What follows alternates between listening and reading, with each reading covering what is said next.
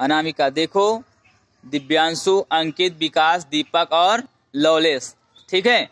इन सभी को तुमको क्या करना है? हाइट के अनुसार खड़े करना है। मतलब जो सबसे छोटा होगा, हाइट में वो सबसे आगे, फिर उससे बड़ा, फिर उससे बड़ा, फिर लास्ट में सबसे बड़ा, ठीक है?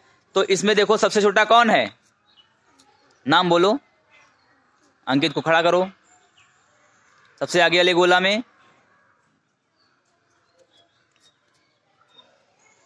हाँ खड़े हो जाओ गोले में।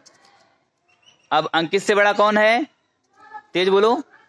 दिव्यांशु को खड़ा करो। इसके पीछे वाले गोले में। फिर इनसे बड़ा कौन लग रहा है तुमको? देखो। लवलेस को ले आओ। लवलेस को इसके पीछे वाले गोलम खड़ा करो। हाँ ठीक। और इनसे बड़ा कौन है? दीपक। दीपक को खड़ा करो। और सबसे बड़ा कौन है? विकास को खड़ा करूँ। चलो, बहुत बढ़िया। तो सबसे छोटे अंकित अंकित के बाद दिव्यांशु दिव्यांशु के बाद लवलेश और लवलेश के बाद दीपक, और सबसे बड़े कौन है? विकास। ठीक है?